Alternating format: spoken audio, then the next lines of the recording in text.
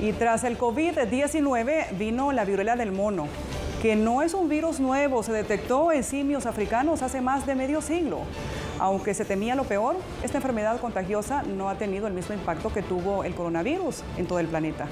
En el caso de El Salvador, aunque ya hay personas contagiadas, afortunadamente no se reportan fallecidos. Veamos cómo ha sido la situación aquí en nuestro país.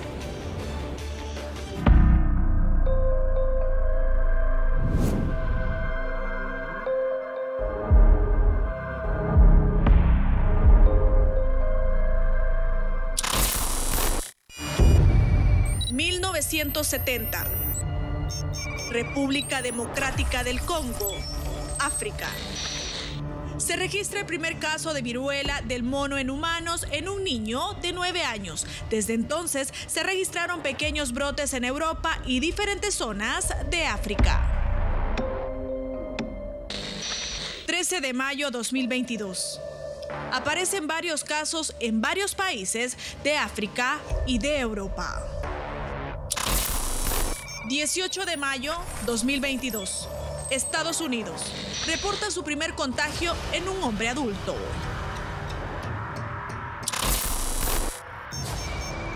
...27 de mayo 2022... Argentina.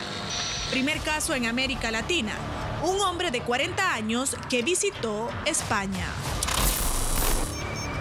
30 de agosto 2022. El Salvador. Se anuncia el primer caso de viruela símica en el territorio. Se confirmó presencia del virus en una mujer de 28 años con nexos epidemiológicos con personas que vinieron de Estados Unidos. Se ha realizado la confirmación a través de todos los protocolos y mecanismos correspondientes basados en la evidencia científica internacional. Eso es una prueba eh, PCR, una reacción de cadena de polimerasa.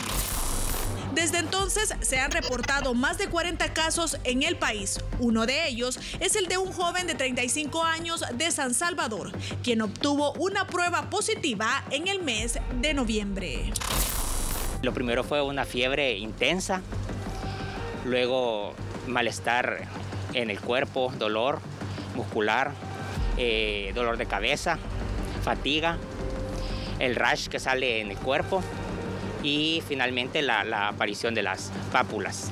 ¿Y en qué momento dice usted, no, voy, tengo que ir a consultar? Cuando, cuando me apareció la primera grano en, el brazo, sí ya me puse este, a pensar en que era eso y me fui a un especialista. Asegura que pasó 21 días aislado y al inicio fue hospitalizado por los fuertes dolores en las pápulas o ronchas que le brotaron. Los dolores eran insoportables, bastante intensos.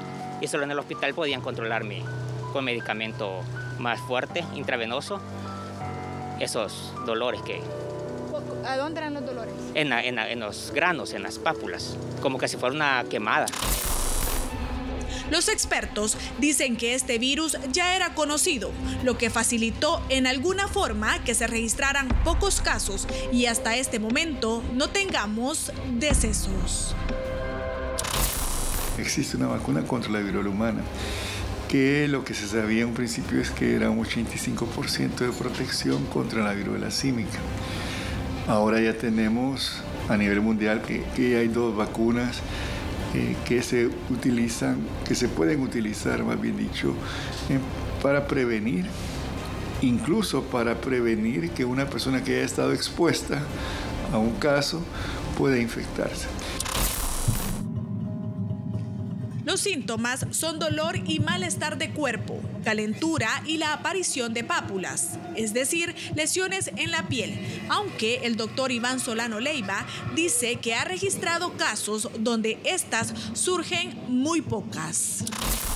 Los pacientes, por lo menos que su servidor ha atendido, no tienen lesiones intensas o, múltiples en su piel, sino que a veces son lesiones pequeñas eh, escasas que uno puede pensar que no se trata de viruela símica.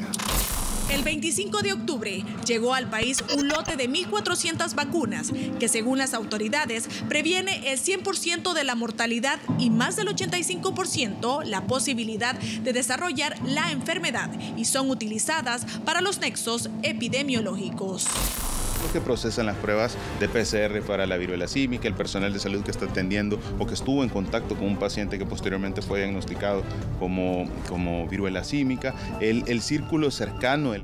el 28 de noviembre, la OMS informó que para evitar discriminaciones, la viruela del mono pasa a llamarse MPOX, un acrónimo de monkeypox o viruela símica en inglés. Y aunque ya se reportan 201 mil casos en todo el mundo, no ha tenido el impacto del COVID-19, por lo que se espera que ambas enfermedades dejen de ser una emergencia de salud pública en el año 2023.